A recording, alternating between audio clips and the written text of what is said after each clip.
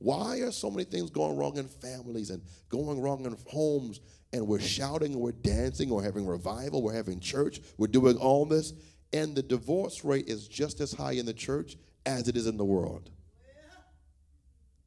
It made me very humble to say, Lord, as a leader, if it's me, help me to set the culture in our churches where it's so okay to say, I need help. The sons of Issachar understood the times. That word understanding, it means they had insight, meaning they could see into what is going wrong. They didn't just mask it.